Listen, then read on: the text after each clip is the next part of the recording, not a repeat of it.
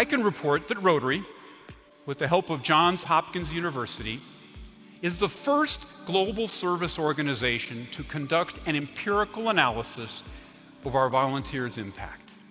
And the preliminary findings provide a conservative, a conservative estimate of more than 45 million hours of volunteer effort generated by Rotary members in a typical year.